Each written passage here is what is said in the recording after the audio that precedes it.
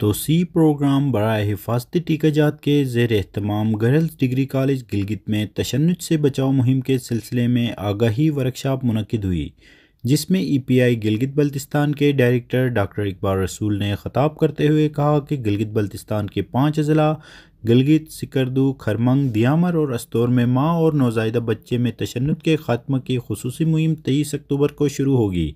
अट्ठाईस अक्टूबर तक जारी रहने वाली छः रोज़ा मुहिम के दौरान पंद्रह साल से उनचास साल के दरमियान दो लाख सतावन हज़ार खवतिन की वैक्सीनेशन की जाएगी। डॉक्टर इकबाल रसूल, डायरेक्टर ई पी आई में अपने इंतहाई काबिल एहतराम बुज़ुर्ग जो हमारी जी बी की माएँ हैं, बहनें हैं, उनसे मुखातिब हूँ।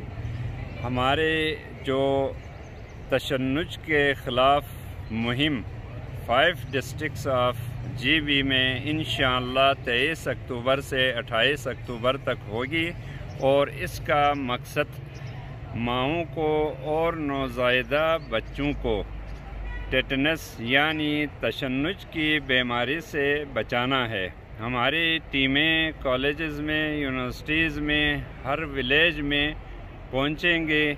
मेरी अवामनास से, अपने बुज़ुर्गों से, माओं से, बहनों से, टीचर्स से, सारे जितने स्टेक होल्डर्स हैं, पॉलिटिकल लीडर्स हैं, रिलीजियस लीडर्स हैं, सबसे ये रिक्वेस्ट होगी कि ये मुफ़्त टीकाजात हैं और इससे माओ और नौजायदा के अंदर इम्यूनिटी डेवलप होगी तो आप हमारी टीमों से ताउन करें और इस मौके से भरपूर फ़ायदा उठाएँ। बहुत बहुत शुक्रिया।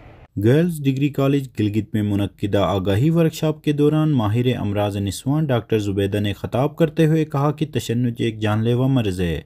इस मर्ज से बचाव का वाद तरीका वैक्सीनेशन है। हामला खातन और नौजायदा बच्चों की वैक्सीनेशन मुकर वक्त में कराना लाजमी है। हमला खातन और बच्चों की वैक्सीन जो है वो टाइम पे हो जानी चाहिए।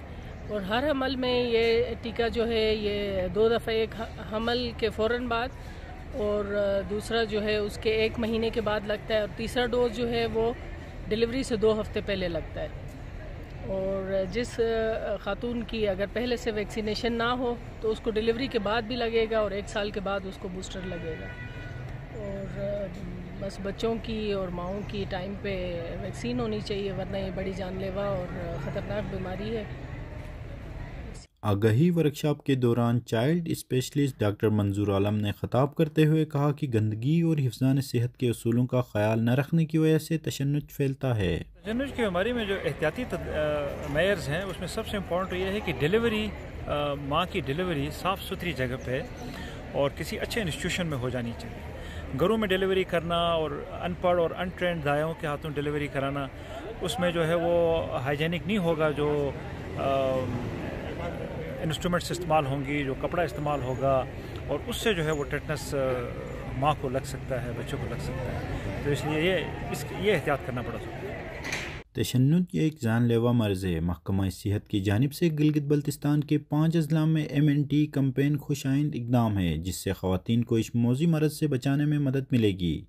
नज़ाकत अली, गिलगित।